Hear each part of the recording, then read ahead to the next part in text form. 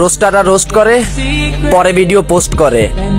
আর টিকটকাররা TikTok ছেড়ে দিলে দেখা যাবে রোস্টাররা সব গুলিস্তানে খয়রাত করে। রোস্টাররা রোস্ট করে, তারপর ভিডিও পোস্ট করে, তারপরে কিনা গুলিস্তানে খয়রাত করে। আবে বকচুত, তরে কইতেও আমরা খয়রাত করি না না করি? দান খয়রাত তো আমরা ছোটবেলা থেকেই করি। নিজের এলাকায় করে আর গুলিস্তানি করি, কিন্তু দান খয়রাত তো আমরা আগে থেকে করি। তখন মতো ফকির নিচু দান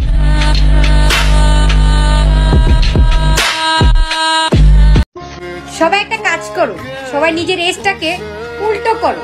উল্টো করানোর পরে যারটার সাথে যার মিলে যাবে তার গার্লফ্রেন্ড বয়ফ্রেন্ড হয়ে যাবে এটা কি বৈজ্ঞানিক প্রক্রিয়া নাকি অন্য কোনো প্রক্রিয়া? তা ঠিক আমি বুঝি না। যদি এমনই হইতো, তাহলে কি আর সবাই সিঙ্গেল থাকতো? সবাই বলতে কি, আমার মতো কিছু কিছু লিজেন্ড আছে যারা কিনা সিঙ্গেল থাকে, আর বাকিগুলা তো গার্লফ্রেন্ডের তেল মারা থাকে। আমাকে ভাই, তেল টেল মারার দরকার নাই, আমরা যেমন আছি তেমনই থাকতে চাই। সিঙ্গেল আছি সিঙ্গেলই দাঁড়াইতে চাই। ইনশাল্লাহ সিঙ্গেল কমিউনিটির সভাপতি হিসেবে দাঁড়াইতে চাই। তো কে কে আসো যারা যারা আমার মতো সিঙ্গেল কমিউনিটির সভাপতি হতে চাও, তারা অবশ্যই কমেন্ট বক্সে হাত তোলো। যদি নাও হতে পারি সিঙ্গেল কমিউনিটির সভাপতি, কি যদি নাও হতে পারি সিঙ্গেল কমিউনিটির সভাপতি, সমস্যা নাই, তেল লাগায় হাতের মধ্যে গিটার মারবো রাত প্রতি।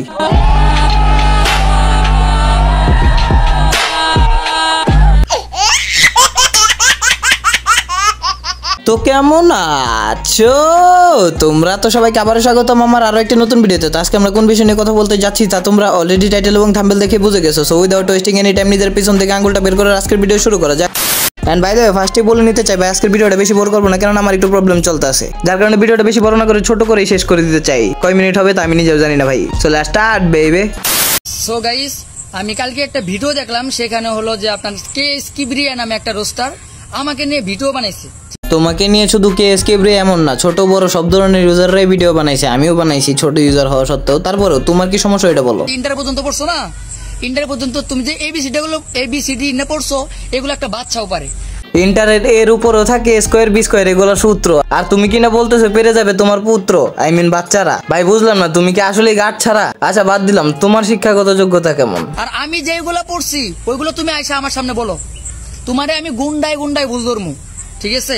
আমার পর আর তোমার পর রাত দিন তফাত ঠিক আছে? আমি কিন্তু কাউরে গালি দিই না। তুমি যেভাবে মানুষকে ছাগল বলো এটা বলো সেটা বলো। মাশাল্লাহ মাশাল্লাহ জাদাকাল্লাহ খয়রান ফিতরাত আপনার মুখে কথা শুনে আমি খুবই সন্তুষ্ট পেলাম। এটা আগে তুমি বলবা না। যেহেতু আপনি বলছেন যে আমরা পাগল ছাগল বলে থাকি তাহলে আপনি শুনে রাখেন এগুলো আমাদের জন্য স্বাভাবিক একটা ব্যাপার। আচ্ছা। কিন্তু আপনি একজন মুসলমানের বাচ্চা হওয়া সত্ত্বে ত্রিশ পারা কোরআন শরীফ মুখস্থ রাখার পরে নিজের মাইন্ডের মধ্যে রাখার পরে তারপরে আপনি টিকটক করতেছেন। দ্যাটস বেটার না? বোকা আর আমরা একটু খোঁচা মারলে আমাদের দোষ। ওরে বাপ রে বাপ দাড়ি খাইটা তুমি রাখতেছো মুস আমরা শুটকি মারছি এখানে আমাদেরই দোষ। ভাই আমি বলতেছি না যে টিকটক করা হারাম ভাই এমন কোন কিতাবে লেখা নাই যে টিকটক করা হারাম। কারণ টিকটক সম্বন্ধে কিছু উল্লেখ করাই নাই ইসলামিক দিক দিয়ে। কথা কিন্তু সত্য। ভাই আমি জাস্ট এটাই বলতে চাইতেছি টিকটক করা ভালো না খারাপ না? ভাই তুমি টিকটক তোমার মতো ভালো ভালো ভিডিও করতেছো তোমার সাবজেক্ট আলাদা তোমার তো কেউ কিছু কইতেছে না। বাট তুমি যখন ভিডিও দেখতেছো তার মাঝখানে সোয়াইপ করতে করতে একসময় দেখবা যে হঠাৎ করে একটা নোংরা ভিডিও চলে আসছে। দ্যাট টাইম ওইটা কি তোমার ভালো লাগবে? না। আর টিকটকের মধ্যে এমন একটা ইউজার বলো যে কিনা আজ অব্দি কোনো নোংরা ভিডিও পাই নাই। কথা কি ক্লিয়ার না ভেজাল আছে? ভাই তুমি তিরিশ পারা কোরআনের হাফে যাওয়া সত্ত্বেও যদি তুমি টিকটক করতে পারো আর আমরা রোস্টার হয়ে যদি দুই তিনটা গালি দিতে না পারি তাহলে আমাদের আর তোমাদের মধ্যে পার্থক্যটা কি? এটাই চাই। আমার জাস্ট এই জিনিসটা বুঝাও। আর তোমার প্রত্যেকটা ভিডিওতে একটাই কন্টেন্ট আমি বদলাতে চাই না। আমাকে বদলাতে বাধ্য করেছে। তোর নানির হেডা মারানির পর দেখ ভাই, একজন মানুষ কোনো সময় আরেকজন মানুষকে বদলাতে পারে না। তবে তার পরিস্থিতি কিছুটা তাকে এরকম করে দেয়, আমি জানি। আচ্ছা। তুমি যখন প্রেমে ছেঁকা খেয়েছিলে তারপরে কি তোমার গার্লফ্রেন্ড তোমার বলছিল যে তুমি টিকটক করো সেট ভিডিও বানাও? না। তাহলে কি তোমার হুজুরে বলছে যে আমি তোমার সাথে ধোকাদারি করতেছি তুমি টিকটক করো গিয়ে সেট ভিডিও বানাও? না। নাকি তোমার বাপ মাই বলছে যে তুমি এগুলা বাদ দিয়ে তুমি টিকটক করো বাবা যাও? মানে তোমার চুলের কালারটা হলো বিদেশি কুত্তার মতো তারপরে তুমি কি ভাবটাই না দুচাইতেছো? আর তুমি কিছু হইতে নইতে জাস্ট একটা ক্যাপশনে দিতেছো উপরে আমি বদলাতে চাইনি আমাকে বাধ্যতামূলক করা হয়েছে। পাঞ্চ পাঞ্চ বাহ ক্যা বাত হ্যাঁ স্যার। মানে মাঝে মাঝে এইসব বিষয় যখন চোখের সামনে ভাসে না আমার চোখ দিয়ে পানি চলে আসে। এত সুন্দর দৃশ্য কীভাবে দেখে ফেলি আমি?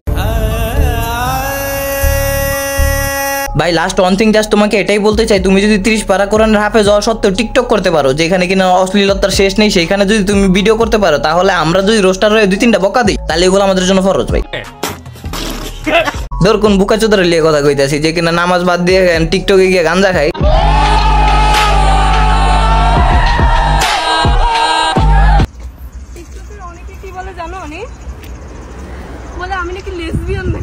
আসলে লেসবিয়ান তো তুমি না লেসবিয়ান তো আমার মন। তোমার চলাফেরার স্টাইল এবং তোমার পাছা লড়ানোর স্টাইল দেখে খারায় যায় আমার তো।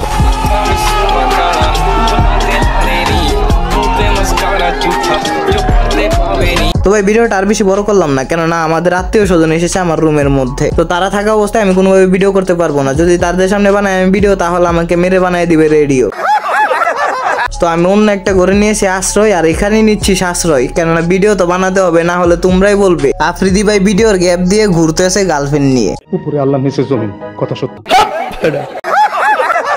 সো আর কোনো নেক্সট নেই। আজকে জন্য এত কান যারা এতক্ষণ অব্দি দেখছ তার মানে একটু হলেও ভালো লাগছে। সো একটা করে লাইক কমেন্ট শেয়ার একটা সাবস্ক্রাইব করো। তোমাদের কাছ থেকে তার থেকে বেশি আর কিছু চাই না। And আগামীকাল আর একটা ভিডিও পেয়ে যাব। ততক্ষণ অব্দি ভালো থেকো। তোমাদের জন্য আলোচ দোয়া আছেন আমার জন্য দোয়া করো। And আপাতত জন্য গেলাম গেলাম গেলাম গেলাম।